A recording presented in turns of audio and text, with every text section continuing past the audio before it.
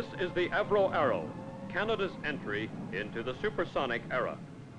Within the short span of four years, the Arrow was brought from initial design to the start of the development flight program.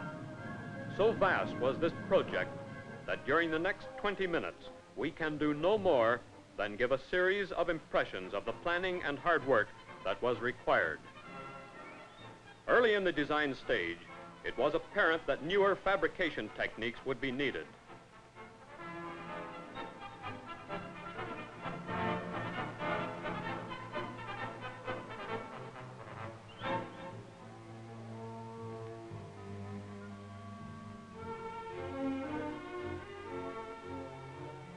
Because earlier methods of manufacturing portions of the aircraft skin from sheet metal would not meet design demands, an electronically controlled skin mill was installed to machine skins and structural components from solid metal billets.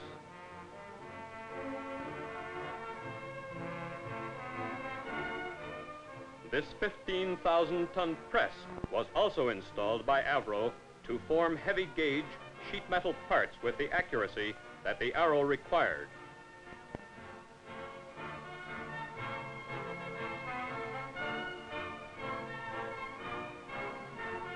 Again and again in the planning of the arrow, the development of new manufacturing techniques was made by Avro to meet the exacting requirements of modern aircraft design. This meant the procurement and installation of new equipment with which these new techniques could be effected.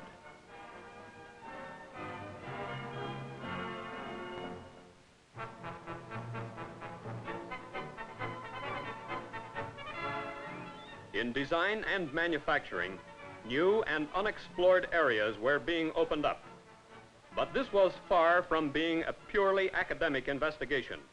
The whole project was proceeding to a tightly integrated schedule and it was a complex operation demanding a very precise analysis of manpower, machine, and facility capacities. From the master schedule, detailed programs for manufacture and assembly were prepared and a smooth, pre-planned release of manpower from other programs to the expanding Arrow production line was effected. The success of this careful planning may be judged by the fact that the first Arrow took 20% less man-hours than projects of similar size and complexity produced elsewhere in North America. There is, of course, much more to designing and building an aircraft such as the Arrow than we have seen so far. It wasn't quite that easy.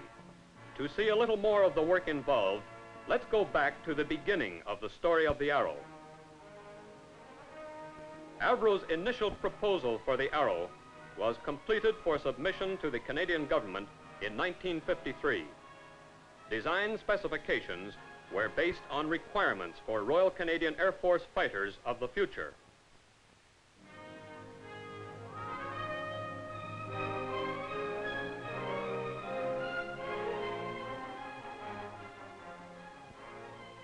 Following government authorization of a design study, various carefully handcrafted scale models representative of the aircraft design were prepared for the wind tunnel development program. Within a short period of authorization, wind tunnel tests were being run. Models were tested at low and high speeds, and spin recovery tests were carried out. As a practical check of flutter and vibration calculations, a scale model was made and tested because existing theory did not adequately cover problems introduced by the low aspect ratio and complex structure of the arrow. Records of all tests were analyzed and fed back to the design team.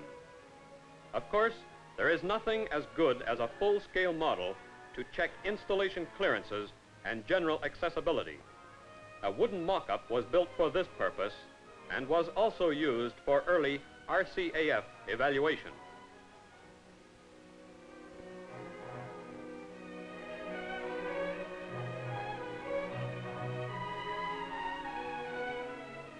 The dummy engine used with the mock-up to check installation and removal techniques is a full-scale model of the Pratt & Whitney J75 engine used in the first Arrow aircraft.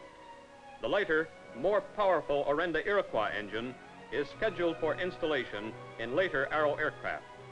It has already been flight tested in a B-47 on loan from the United States Air Force and specially modified for this purpose. Using the mock-up, RCAF specialists were able to assess servicing requirements and make suggestions for design changes. Close cooperation between the Air Force and Avro has been a notable feature of all stages of the Arrow program. A similar metal mock-up was built by the manufacturing division to establish and to check manufacturing methods, assembly, and work sequences.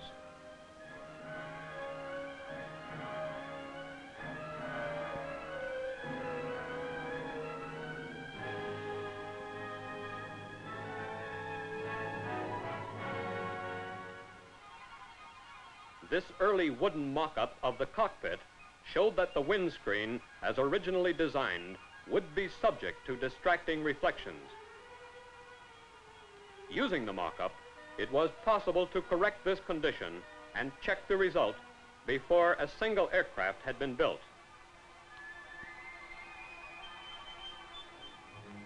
A program of structural and systems tests was begun at an early stage in the project.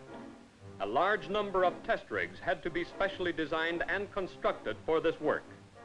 Some of the rigs were of a relatively simple nature. Others, such as the fuel system test rig, were much more complex.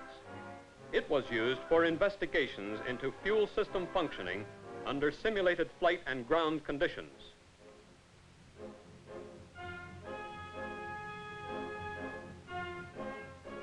The Arrow is fitted with Martin Baker seats for ejection of the aircrew under emergency conditions.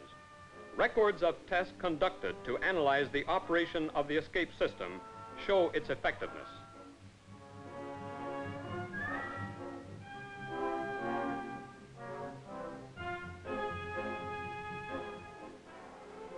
The Flying Control System test rig is a full-scale replica of the aircraft system from the cockpit controls to the control surfaces. It is possible to reproduce flight loading on the rig and to conduct simulated flight tests. The automatic flight control system and analog computers provide simulated flight response. A complete full-scale air conditioning and pressurization system was developed in this rig. The rig can be fed with heated high-pressure air to reproduce the full range of operating conditions met in flight. This rig simulates the complete aircraft electrical system. It is used to check out electrical components or wiring assemblies before installation in the aircraft.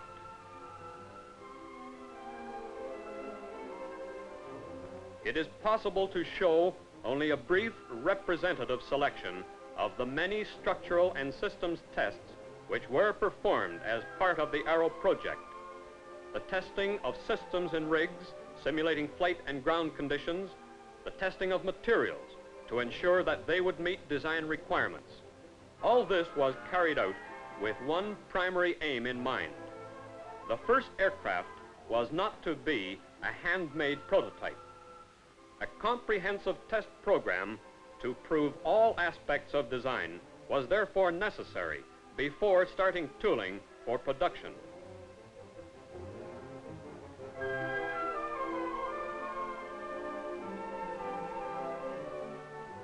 This test program included the building and testing of a number of 1 8 scale free flight models to obtain drag and stability information. The models carried telemetering equipment to transmit signals to ground stations while the model was in free flight. Each model was attached to a Nike rocket booster. During each flight, the airborne transmitter sent a continuous stream of information on the flight characteristics of the model to the ground stations.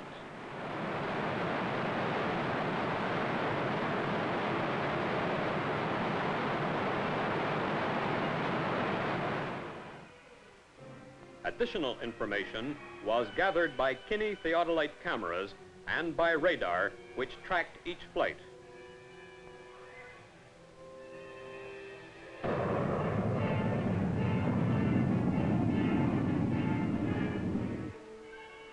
All this data was recorded and analyzed to ensure that the Arrow design was proceeding on the right lines.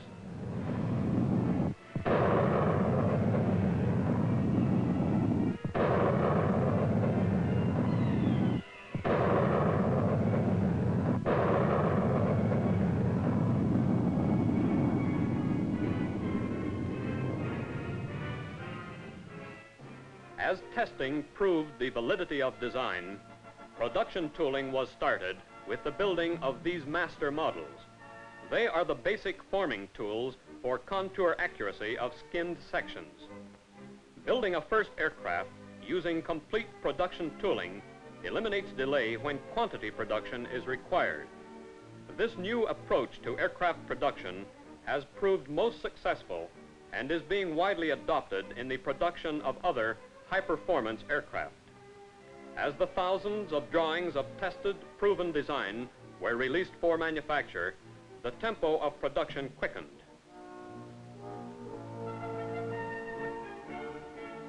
Supersonic aircraft are virtually flying pressure vessels, and as such, the complete aircraft structure is subject to wide variations of pressure. This fact greatly influenced the design of the structure. The effect of aerodynamic heating at supersonic speeds has also been an important factor in the design of the aircraft. Although the extent of this heating is not so great as to make it impossible to use aluminum alloys, new alloys were used where practical to improve the performance and safety of the aircraft. For example, the large surface area and relatively low loading of the fuselage allowed the advantageous use of magnesium alloys, particularly those with good high temperature properties.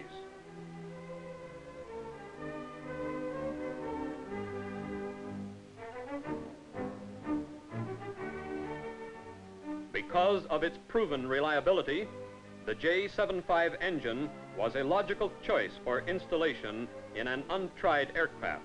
However, when the Orenda Iroquois is installed, the full potential of the arrow will come much closer to realization.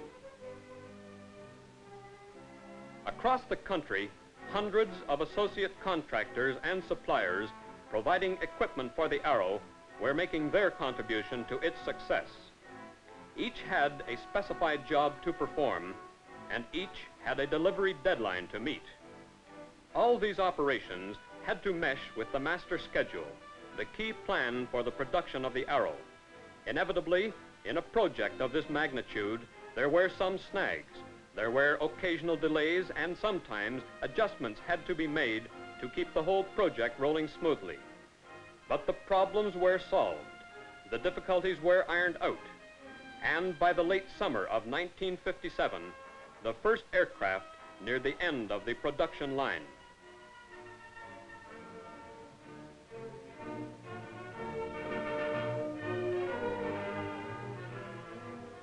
From the production line, the first arrow was taken to the flight test hangar. Preparation for flight included exhaustive testing of the aircraft systems and ground running of the engines.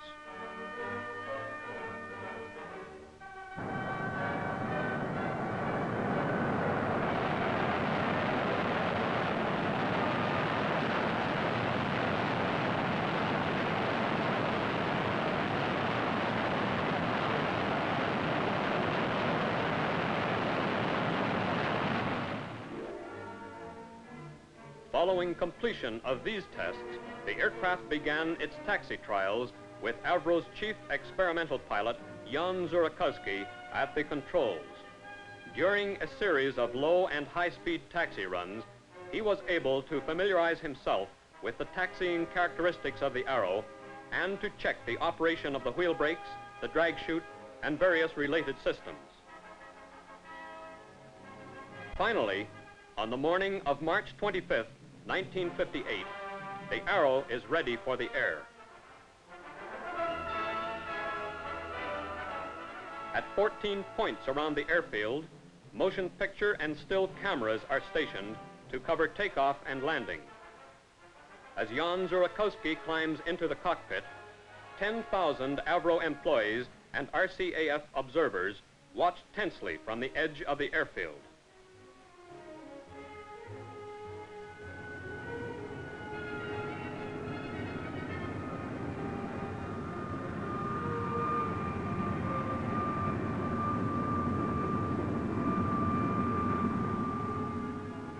Ground telemetry units stand by to record data transmitted from the aircraft.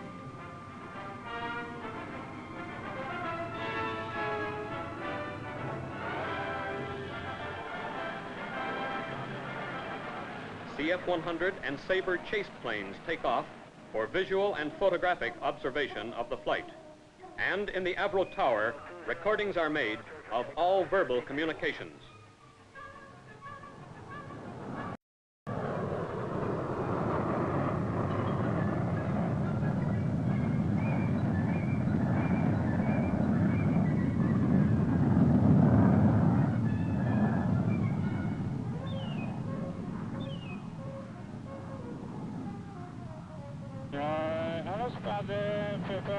Undercarriage detection.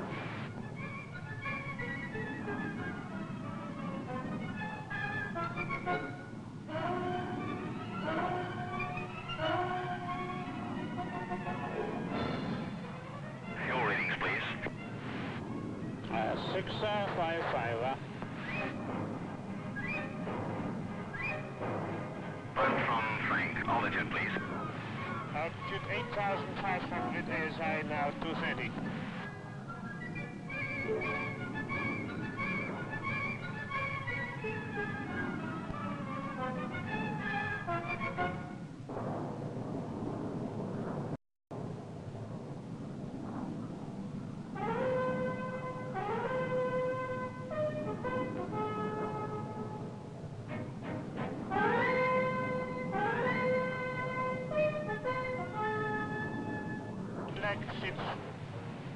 Completely snug in the wing. And the left leg as well is completely snug in the wing.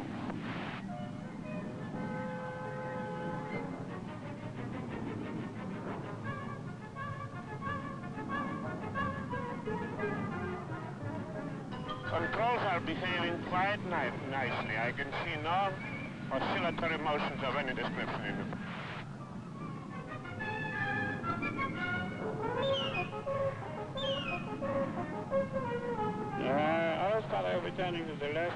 I'll put the indicator down now.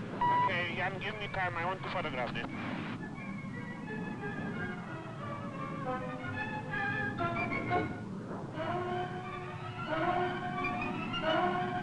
The elevator is about 3 degrees or 4 degrees up as far as I can see from here. Ailerons are nice and flush. Controls here seem to be quite normal, Jan. No problem. Wind is 40 to 50 degrees, 10 to 15 30. 201, Toronto Tower, clear to land, wheels down, lock 32.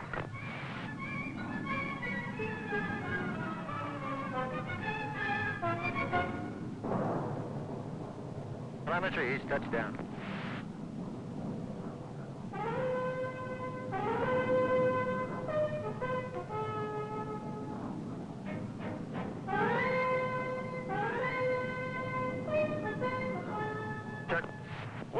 Wonderful parachute, Jan. Fine.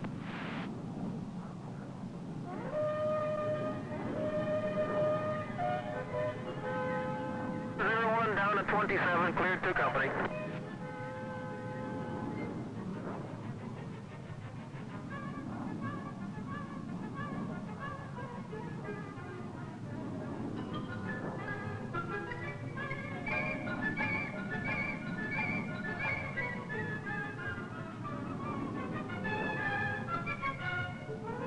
After watching its historic first flight, the huge crowd of Avro employees and Air Force personnel greeted the arrival of the Arrow at its flight base.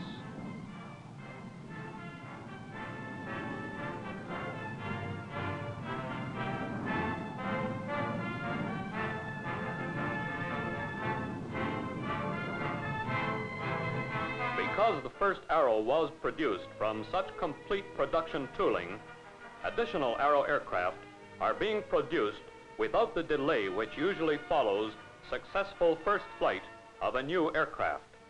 The success of the design is due in large measure to the intensive testing which has formed a major part of the program so far.